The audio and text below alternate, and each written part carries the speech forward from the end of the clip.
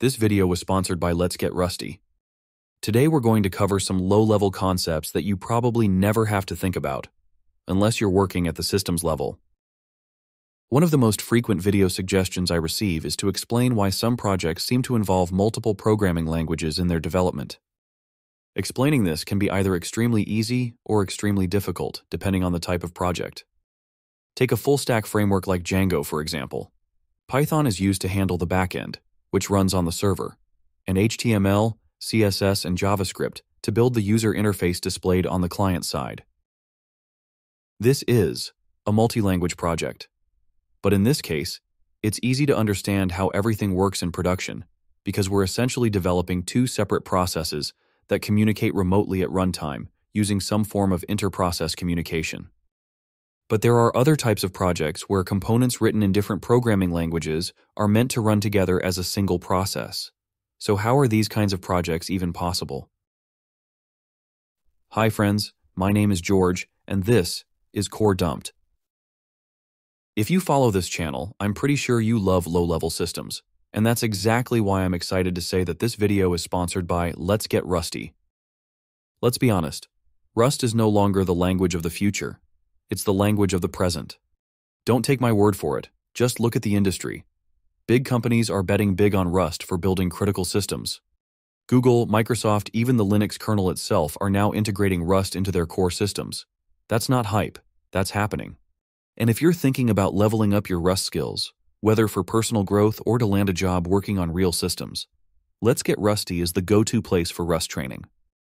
Created by a fellow YouTuber and one of the most beloved names in the Rust online community, Let's Get Rusty has helped thousands of developers, myself included by the way, master the language and break into systems programming. They're running a new cohort very soon, and since spots are limited, now's a great time to check it out. Visit letsgetrusty.com slash startwithgeorge, or just click the link in the pinned comment below. Big thanks to Let's Get Rusty for supporting the channel, and now, let's get into today's video. For simplicity, let's start by considering only programming languages that compile down to machine code. Generally, each programming language has its own dedicated compiler, so we can't just take, say, a Rust file and compile it using the Go compiler. That's where things start to get interesting, and a bit confusing. If most programming languages have separate compilers, runtimes, and memory models, how can they possibly live inside the same binary? What often confuses people is the common oversimplification that compilers are just tools that turn source code directly into executable files. Now, don't get me wrong, compilers do produce executable files, but that's only the final result of a much more complex, multi-step process that we usually don't see. To illustrate this, let's look at a simple C program. If you are not a C developer, don't worry. This program simply prints a message but the message it prints changes depending on the operating system you're running it on. On most GNU Linux systems, the go-to compiler for C is GCC. It used to stand for GNU C compiler, but that's no longer true, and in a moment you'll understand why.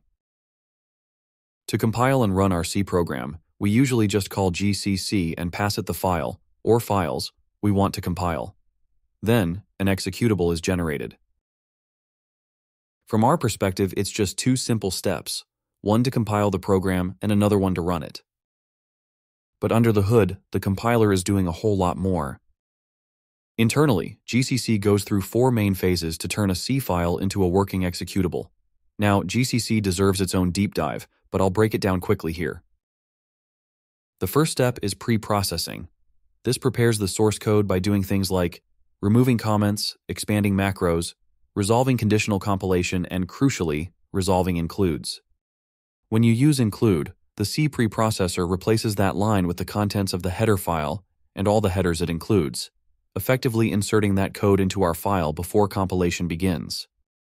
So the output is still C code, but preprocessed for the next step. Next comes compilation, but not directly into machine code.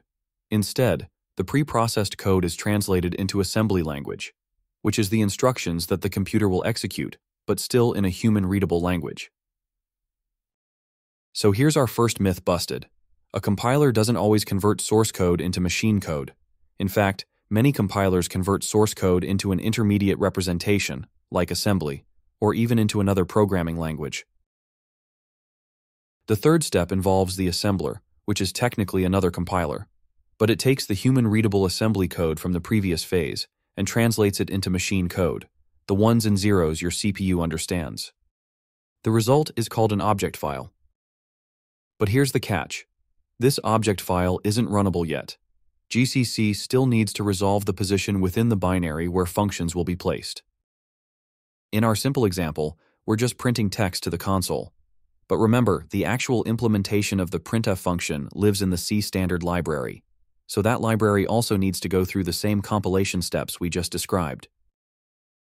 This brings us to the final step, linking. At this stage, we may have multiple object files, some from our code, others from external libraries we included during development. The linker's job is to combine all these object files into a single self-contained executable. There are two ways to do this. The easiest is to take the machine code of each required function from the library and copy it into the final executable. This is called static linking. All the library functions our program needs are embedded directly into the output file. Everything is self-contained and hence ready to run whenever we want. But another option is dynamic linking. Think about how many programs on your system use the print function from the standard library. If every one of those programs statically included its own copy of that function, you'd end up with thousands of identical copies stored across your disk. With dynamic linking, libraries are precompiled into a special type of file called a dynamic shared library. On Unix-like systems, these libraries have the .so file extension, while on Windows, they are identified by the .dll extension. These dynamic shared libraries are similar to executable files in that they contain executable code for the functions provided by the library. The key difference is that they don't contain an entry point to start execution, which makes sense, as libraries typically don't have a main function, which is used to start a program. When our program is compiled with dynamic linking, the linker won't copy the functions from the library directly into the executable. Instead, it will simply insert a reference to the library that contains the machine instructions for that function. At runtime, if the program needs a function from that dynamic library, the operating system will load the required function into the program's address space, so the program can use it as if it were part of the executable. While this may sound a bit strange at first, it's actually incredibly efficient. Instead of storing multiple copies of the same function across different programs, the system only stores the library once. Each program that needs it simply references the shared library and loads it only when necessary, on demand at runtime. This saves both disk space and memory, a huge advantage, especially on systems with lots of programs that depend on common libraries. It's also more flexible, since you can update or patch a library without having to recompile every program that uses it. Linking, both static and dynamic, is a deep topic that honestly deserves its own video. If you're interested in learning more, let me know in the comments, and I'll dedicate a full episode to explaining how linking works, including the ins and outs of dynamic libraries. Now back to the compilation steps. You might be wondering, what's the point of all this modularization? Why break the process into so many phases if the compiler could just go directly from source to executable? Well, the reason we don't normally see all these intermediate steps is because compilers like GCC are configured by default to hide them. They just show you the final result, the executable. But with the right flags, we can expose all those phases. For example, using GCC, if you compile a program and add the savetemps flag, you'll get not just the final executable, but also all the intermediate files. We can even stop the process at a specific stage, for example, the S flag makes the process stop after generating assembly. This is incredibly useful in educational settings, where you might want to see how high-level C code translates to assembly or machine code. In professional environments, this is also used to inspect performance-critical code. You can look at the generated assembly to verify whether the compiler is producing efficient instructions. Even more interesting, we can start from any phase in the pipeline, we can pass GCC the assembly file and simply tell it to assemble and link it. This is huge, because it means we can write part of our code in assembly, pass it to the compiler at different stages, and then the linker will take care of mixing them together into an executable file. This already starts to answer our original question. Let's walk through an example. Suppose we need to write a program that calculates how many prime numbers exist between 0 and a given number, and we want it to be as fast as possible. We could write the whole thing in C, but let's say we don't trust the compiler optimizations, so we decide to write the heavy calculation function directly in assembly and just call it from C. Then we pass both files to GCC, which will compile and assemble the C code, assemble the assembly code, and link both object files into a single executable file. And voila, we've just compiled a multi-language project. This technique is used by real-world systems like the Linux kernel, FFmpeg, OpenSSL, and many embedded projects. They often contain C for most of the logic, but fall back to assembly when performance really matters. Now, here's a fact that a lot of you might have already concluded, but I'm still going to mention anyways. What we casually call the C compiler, like GCC, isn't just one compiler. It's actually a toolchain, a pipeline of tools that are executed in sequence. Each stage consumes the output of the previous one, and each of these tools is pluggable. We can replace parts of the toolchain or feed in our own files at various points. This is why GCC doesn't just support C. It also supports C++, Objective-C, Fortran, Ada, D, and even Go depending on how it's configured.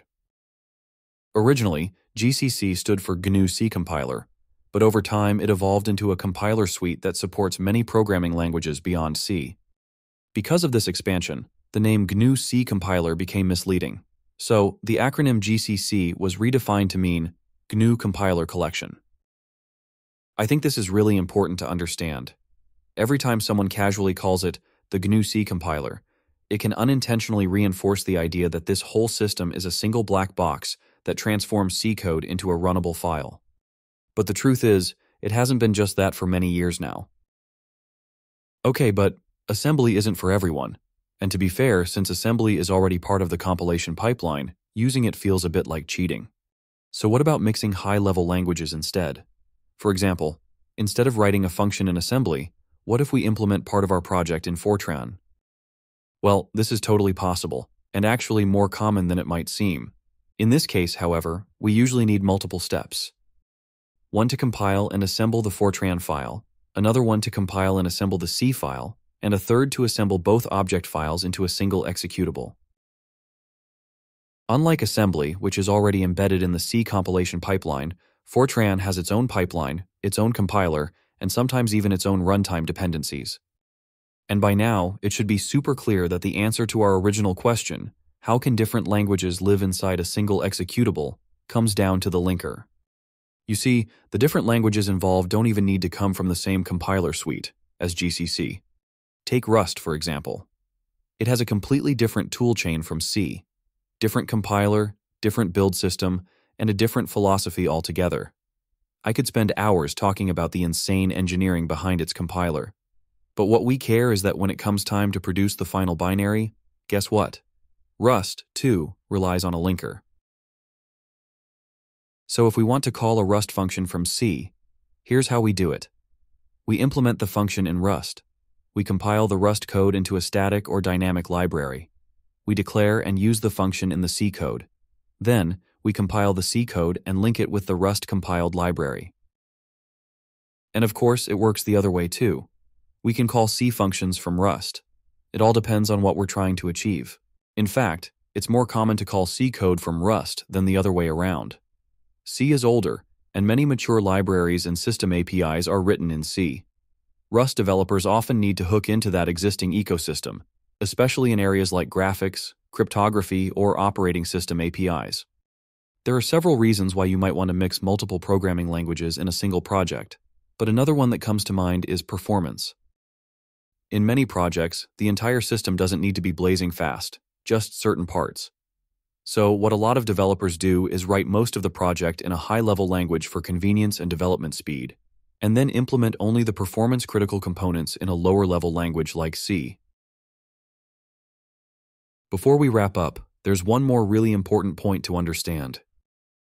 Let's say we have two high level languages, language A and language B. Just because both of them have a final linking phase doesn't automatically mean they can be correctly linked together into one executable. Here's a very simple example. We've implemented a function in language B, and we're calling it from language A. Even if both compilers emit assembly for the same architecture, they might make different assumptions about how data is passed between functions. For example, the compiler for language A might pass the two function parameters in registers 0 and 1, but the compiler for language B might expect the parameters in registers 1 and 2. Both are producing valid machine code, but since their calling conventions differ, the result will be undefined behavior at runtime. Language A will place arguments in the wrong place, and language B will perform operations using incorrect data. And it doesn't stop there. In this example, there's another problem. After computing the result, the function writes it to register 1 and returns, but language A expects the result to be in register 0. So not only does language B compute the wrong result, but language A doesn't even see or use that result at all. The same example, but this time with two languages, X and Y. Here, both languages use register 0 and register 1 to pass and receive parameters. But let's say language X uses pass by reference for all function arguments. It puts the addresses of variables in the registers, which is not the same thing as putting the values of those variables directly in the registers. Meanwhile, language Y passes by value, so it expects the actual values in the registers. That's why here, it immediately add the content on those registers as soon as being called. At runtime, this mismatch causes language Y to interpret memory addresses as actual values, adding those addresses instead of the values stored at those addresses, leading to completely wrong behavior, or even a crash. So even though both compilers produce valid and executable assembly, the final linked binary is inconsistent unless both sides agree on how to talk to each other. These kinds of low-level rules are defined by what's known as the Application Binary Interface, or ABI. Just as an API defines functions at the application level, an ABI defines how different components of binary code interact with each other through the hardware. So, when we're mixing two different languages, it's not enough that they both produce object files. At least one of them, or specifically, the part of it that interacts with the other language, must conform to the other's ABI expectations. In our language X and language Y example, one way to make this work is by modifying language Y to dereference the values. That way, the function will first fetch the data from the memory addresses provided, loading the actual values into the registers before performing the addition. In this case, language Y is being made to conform to the ABI expectations of language X. But we could also take the opposite approach, make language X conform to the ABI expectations of language Y, by simply loading the argument values directly into the registers instead of their addresses. This way, the function in language Y can immediately add the values when it's called. As I mentioned at the beginning of this video, these are low-level details that we usually don't have to think about unless working at the system level. The good news is, language designers know this. Modern languages provide tools, keywords, and compiler flags to make this process easier. In C, you might declare an external function using extern. In Rust, you'd use the extern keyword and the nomangle attribute. In Fortran, you can use the bind attribute. In Go, you can use a special block of comments placed directly above the line import C to include C header files. And it even lets you write inline C code directly in your Go source files. Every language has its own way of doing this, but at compile time, these declarations all serve the same purpose. They tell the compiler, hey, this function will interact with code written in another language. Please make sure the generated assembly follows the expected ABI. And let's wrap things up for now. In the next part, we will cover how to mix compiled languages with interpreted languages, so make sure to subscribe, because you won't want to miss it. Don't forget to check Let's Get Rusty, linked in the pinned comment below. And if you liked this video or learned something new, please hit the like button. It's free, and that would help me a lot. See you in the next one.